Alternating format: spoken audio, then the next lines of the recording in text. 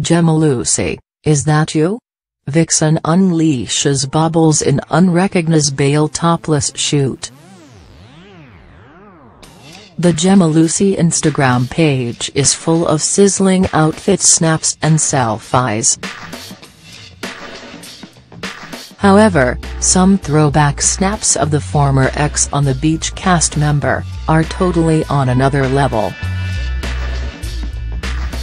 The reality TV star was seen posing completely topless as she dressed up as a sexy Santa. Jemma, who was far less tattooed at the time, smiled sweetly into the camera as she exposed her nude assets. One snap saw her brunette peel down her red suit so that her chest popped out for all to see. She teamed her festive flesh flashing with a statement red lip and blue eyeshadow. Meanwhile, the celebrity Big Brother was also rocking a Santa hat. Jemma then pulled this down even further in a second image as she revealed a matching thong.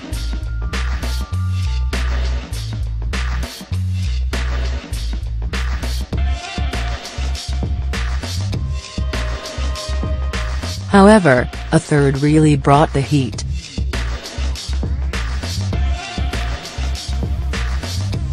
Jemma was seen bending over to displaying her peach and just teeny thong.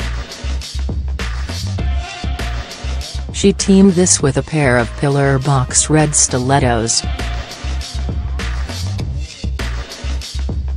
The ex on the beach babe is still known for her raunchy image.